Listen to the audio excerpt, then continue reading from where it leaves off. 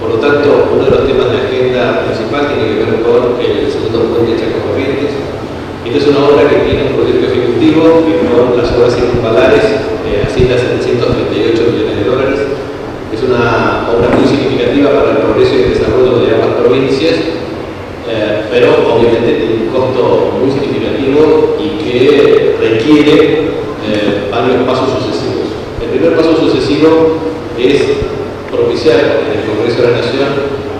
con la sanción de la ley del presupuesto la garantía soberana. De manera que eso implique la perspectiva cierta de obtener el financiamiento de organismos multilaterales de crédito o de consorcios de carácter internacional sobre la base de avales del Tesoro Nacional. De manera que este primer paso estamos dispuestos a hacerlo de una manera inmediata eh, y el segundo paso que tenemos que hacer en Gustavo es trabajar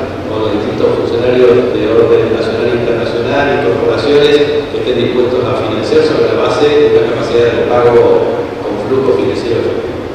Eso obviamente no es una cuestión fácil y sencilla, por el monto, por el significado, por la inestabilidad macroeconómica, por el proceso de reestructuración de deuda que tiene la República Argentina, pero es una cuestión que lo podemos hacer, lo vamos a hacer y lo vamos a poner lo mejor de nuestro esfuerzo de carácter